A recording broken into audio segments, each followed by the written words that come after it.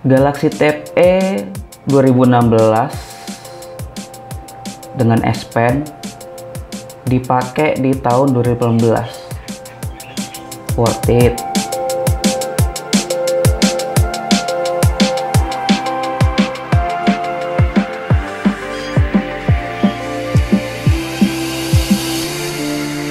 Beberapa bulan ini aku sudah menggunakan Android tablet untuk menggambar tepatnya Samsung Galaxy Tab E 10 inci dengan S Pen. Dan pada video ini aku akan membahas tentang tablet itu sendiri dan aplikasi di Android yang mendukung S Pen.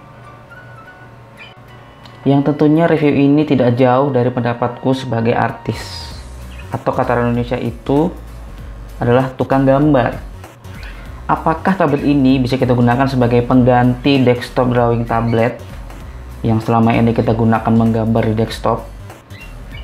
Setidaknya untuk kalian yang berprofesi sebagai artis, memiliki sedikit gambaran tentang tablet ini. Apakah tablet ini bisa menggantikan dari driver, daily driver kalian yang sebelumnya atau tidak?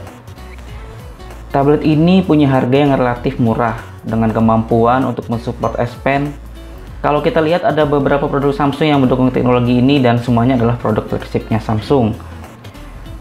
Dan tablet ini hadir cukup mengejutkan dengan teknologi yang biasanya hadir hanya pada produk-produk kelas atasnya Samsung. Untuk sekedar informasi, tidak semua tablet mendukung teknologi S Pen. Karena untuk mendukung teknologi S Pen itu dibutuhkan sensor khusus di layar yang bisa mendeteksi S Pen saat kita sentuhkan ke layar dan tidak semua tablet mendukung hal itu dan hanya beberapa produk saja yang mendukung teknologi S Pen. Contohnya adalah Samsung. Ketika kita pertama kali mencabut Pen dari tempatnya, maka layarnya yang dalam keadaan mati bisa langsung digambar dan S Pen-nya terasa bagus banget buat gambar. Dia bisa mendeteksi tekanan dengan sangat baik dan ketika aku menggambar sangat lambat, garisnya pun terasa tidak bergelombang dan sangat terasa stabil. Tablet ini dibekali dengan RAM 3GB dan ruang penyimpanan 16GB. Ya, 16GB. Sangat standar sekali untuk ukuran tablet yang notabene ukurannya sangat besar, tapi malah memiliki memori yang sangat kecil.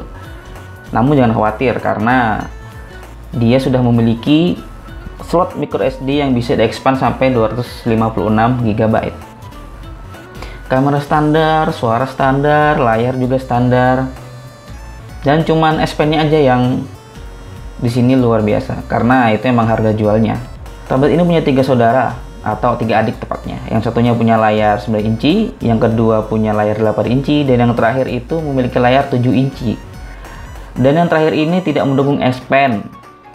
Dan yang aku pegang saat ini adalah kakak yang paling gede yaitu 10 inci.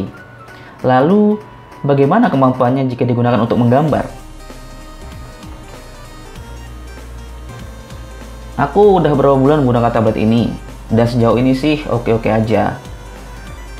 Aku juga sudah mencoba beberapa aplikasi, contohnya di sini adalah Sketchbook, Painter, Rock Animator, AdRage, Medibank, dan favoritku di sini adalah Sketchbook. Saat mulai menggambar di Sketchbook, terasa banget kalau aplikasi ini sangat intuitif dengan interface yang simple tapi sangat lengkap bahkan hampir menyamai versi desktopnya. Dengan S Pen yang mendukung tekanan membuat menggambar menjadi lebih nyaman lagi. Tapi apakah aplikasi ini sudah cukup untuk menggantikan aplikasi menggambar yang ada di desktop? Hmm, kayaknya masih belum ya.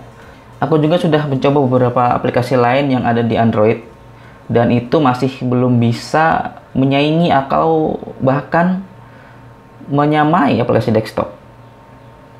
Tapi kalau hanya untuk menggambar casual atau sketsa ringan, aku yakin aplikasi ini, aplikasi di tablet ini sudah lebih dari cukup.